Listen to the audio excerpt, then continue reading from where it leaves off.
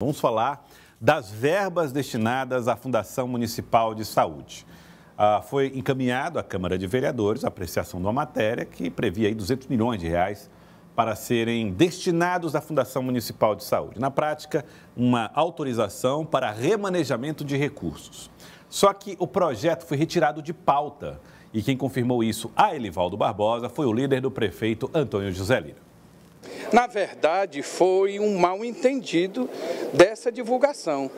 O projeto, no momento que ele chegou aqui, eu recebi orientação por questões técnicas de retirar imediatamente. Não chegou nem sequer para análise do legislativo, da parte técnica. Só chegou a ser protocolado. Imediatamente eu recebi a ligação do secretário da Fazenda, doutor Admilson Brasil, e foi retirado. Eu não sei nem porquê. Foi ontem, eu não digo nem requentado, porque nem sequer foi lido. Portanto, Elivaldo está fazendo esse esclarecimento, né, de que o projeto, na verdade, não chegou aí. É, não chegou. Na, na, na prática foi isso. Foi um ensaio, digamos assim, né? Um ensaio, é, a ideia, ela de fato existe, nós conversamos com o secretário de Planejamento, é, é, o João Henrique Isso. Souza, e ele confirmou que essa preocupação da Prefeitura é real, existe. A situação financeira, Joelson, da Fundação Municipal de Saúde não é boa. Esses recursos iriam, inclusive, para complementar a folha de, de, de, pagamento, mas a Prefeitura pode é, segurar mais um pouco essa gestão financeira da Fundação Municipal de Saúde e, ao mesmo tempo, trabalhar a base aliada e até mesmo a oposição, os vereadores, para essa necessidade desse suporte de recursos para a manutenção da FMS. Isso não é dinheiro de fora do orçamento, não é recurso de operação de crédito, é do próprio orçamento da Prefeitura, que seria remanejado de outros órgãos, de outras áreas, para reforçar o caixa da Fundação Municipal de Saúde, para dar conta de despesas fundamentais para a gestão da saúde em Teresina. Olha, Joelson, não é de hoje que a Prefeitura tem sido obrigada a gastar acima do que é determinado por lei e acima das suas próprias, eh, dos seus próprios limites de gastos com a saúde. E olha, eu pensei que fosse esse problema cair na próxima gestão, mas não, cai nessa agora. Ou a prefeitura resolve esse problema, por exemplo, do hospital de urgências, o HUT, da gestão financeira, ou ela não terá como manter essa unidade de saúde funcionando como está hoje.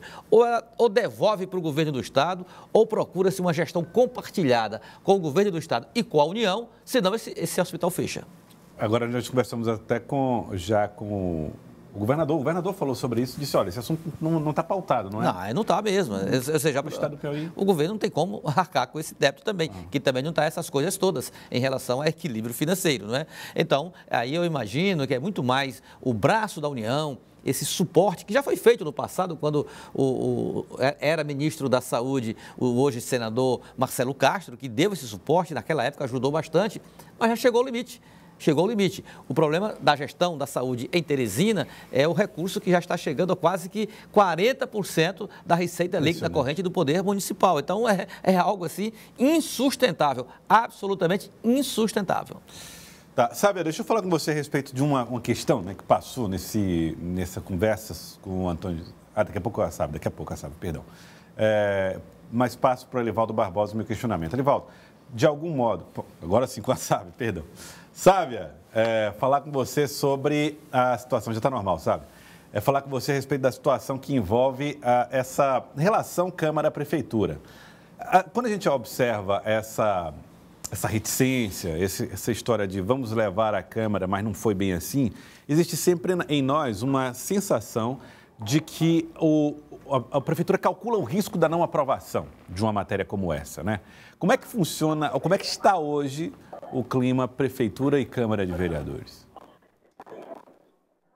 Joelson, eu comparo muito com Brasília para a gente ter dimensão do, da importância do legislativo. Sem o legislativo, o executivo não consegue governar, não se governa só com decreto ou só com medida provisória. É importante ter essa base, mas essa base é sempre muito volátil. Numericamente, o prefeito doutor Pessoa teria número suficiente para aprovação. Só que esses nomes que, inclusive, fazem parte da gestão, ocupam espaços, têm indicações importantes, nem sempre nas pautas mais difíceis, mais, mais polêmicas, estão ali junto com a prefeitura. É uma crítica que secretários, membros ali da alta cúpula do Palácio da Cidade também fazem essa reclamação sobre essa fidelidade da base. E como o cenário também de instabilidade política no sentido de dificuldade, se o prefeito vai ter partido ou não vai ter partido, então todos esses nomes que estão ali no entorno, estão na expectativa de disputar junto com o grupo do Palácio da Cidade, também ficam mais reticentes nesse momento. Então existe uma correlação entre a política e a seara administrativa. E o exemplo que a gente vê é nisso, né? nesses momentos em que a prefeitura, como você pontuou muito bem, calcula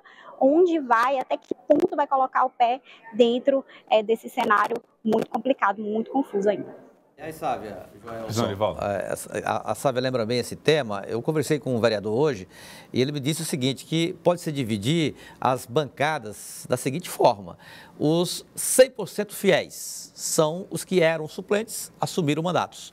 Porque quem tem mandato hoje não é chamado de suplente, é vereador. Uhum. Eram suplentes, o titular saiu para a secretaria e aí o suplente assumiu, então são vereadores. Esses são 100% fiéis, uhum. não arredam o pé. E aqui, o vereador Zé Filho, Inácio Carvalho, Graça Murim, enfim, uns quatro, acho o que... O próprio Antônio José Lira. O próprio, o próprio Antônio José Lira, que é um defensor, vai para a tribuna todo dia defender a gestão do prefeito, o doutor Pessoa. Então, o líder do prefeito. Então, esses são 100% fiéis, votam tudo discutido, mas votam tudo com fidelidade plena ao Palácio da Cidade. E tem agora, hoje me chamou a atenção, sabe, os Coringas os coringas, os coringas, os coringas são aqueles que, mesmo sendo de oposição, mas ajudam a prefeitura.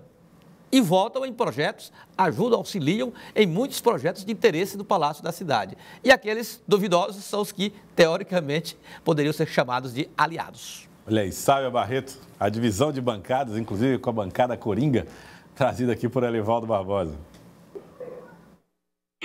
Olha, já, eu já ouvi essa expressão, viu, Alivaldo, dos coringas. E o curioso, por exemplo, o nome de um coringa, que sempre é citado, o vereador Aloysio Sampaio, a gente não pode dizer que, que ele é da base do doutor Pessoa, mas sempre que é preciso, ele vai lá e vota mais fiel ao prefeito, ao palácio da cidade, do que muitas vezes aqueles que têm espaço. É interessante, esses coringas, né, realmente estão ajudando a salvar. Na hora H, eles chegam junto.